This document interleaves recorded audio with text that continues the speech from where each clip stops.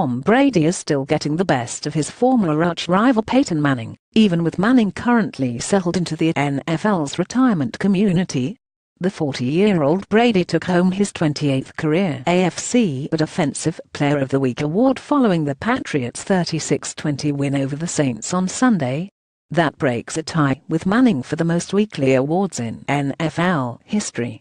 The honor comes after Brady tossed for 447 yards and three touchdowns in New Orleans to bounce back from a pedestrian Week 1 loss against the Chiefs. Through the opening two weeks of the season, Brady leads all quarterbacks in passing yards.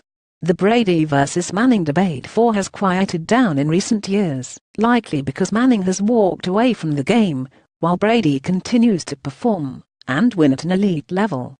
Brady's trump card in the debate will always be his five rings to Manning's two, though Manning still holds the top spot in passing yards and passing touchdowns all time but now Brady stands alone at the top of his mountain of AFC weekly honors, so Patriots fans and others in Brady's corner now have a little bit more ammunition to help their cause.